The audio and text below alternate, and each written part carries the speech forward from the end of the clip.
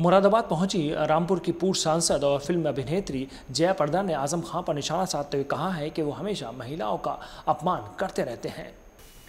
Film अभिनेत्री एवं पूर्व सांसद जयप्रदा नाहटा मुरादाबाद में आज तीजोत्सव कार्यक्रम में मुख्य अतिथि के रूप में पहुँची। यहाँ सपा सांसद आज़म खान पर बड़ा बयान देते हुए कहा कि अखिलेश जी आज़म से बहुत प्यार करते हैं। अखिलेश जी समझते हैं कि आज़म ही सब कुछ हैं। अखिलेश को आज़म के अलावा कुछ दिखता ही नहीं है। अखिलेश एक एमपी हैं, एक पार्टी के अध्यक्ष हैं। सपा कार्यकर्ताओं को भड़काकर दंगा कराना चाहते हैं। अखिलेश आज़म के द्वारा अवैध टिप्पणी करने पर उनका समर्थन करते हैं। अखिलेश आप काबू में रहिए। आपके जो आसपास का क्षेत्र है, आज़म खान ने जो गुनाह किया है, उसका सजा पाना ज़रूरी है। आज़म भू माफिया है और शिक्षा माफिया भी। अब्दुल्ला आज़म पर कहा कि जैसा बाप, वैसा ही बेटा। भाजपा सरकार आज़म का करोड़ तोड़ने को खड़ी है।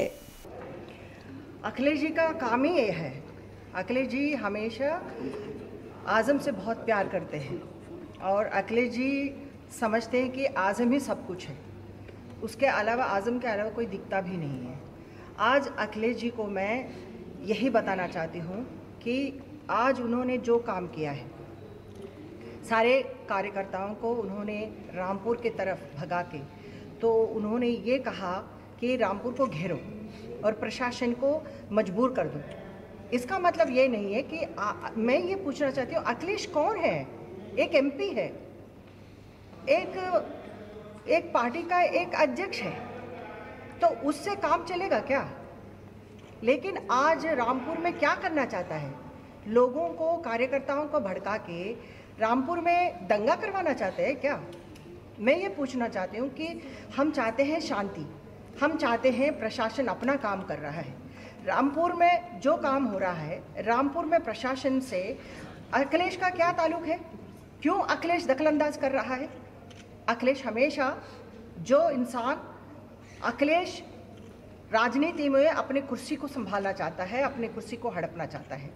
बात यह है कि जब चुनाव के समय पर महिलाओं के ऊपर टिप्पणी कर रहे हैं, आज़म खान महिलाओं के ऊपर अभद्र शब्द इस्तेमाल कर रहा था तो उस समय पर क्या किया? अखिलेश आज़म को समर्थन किया था ना?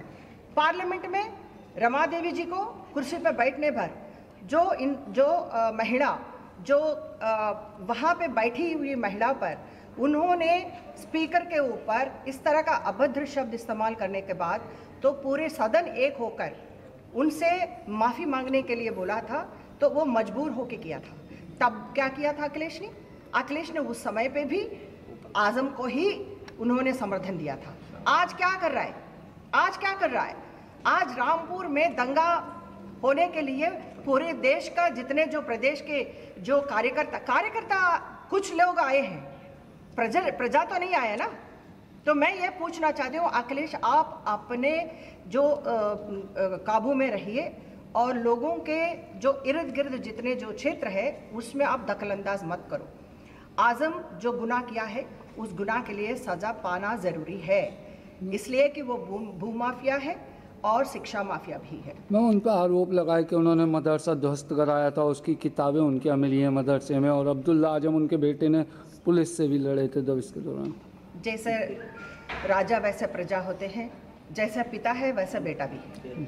आज अखिलेश जैसा है वैसे उसी तरह जो आज़म के जो जो गुरूर को आज इस सरकार आज़म के गुरूर तोड़ने के लिए खड़ी है। तो मैं धन्यवाद कहना चाहती हूँ कि ऐसे कोई भी हो, चाहे आज़म को, कोई कोई भी और भी हो, जो अगर गुनाह करते हैं और सज़ा पाना ही ज़रूरी है। तो आज मैं इतना ही कहना चाहती हूँ कि अब्दुल्ला भी वही रास्ते पे जा रहा है और जो पुलिस अपना काम कर रहे हैं और जो धरोगा है अपना जो बुक्स पाया गया है वो बुक्स को रिकवरी कर रहे हैं उस समय पे ये लोग बाधा डाल रहे थे तो पुलिस इनको मजबूरी से उठाना पड़ा। मैम रिपोर्ट आ रही है कि जो राम रामजी यूनिवर्सिटी से 2000 किताबें गायब हुई थी वो जौहर जौहर यूनिवर्सिटी में पाई गई हैं। इस पे आपका क्या कहना है?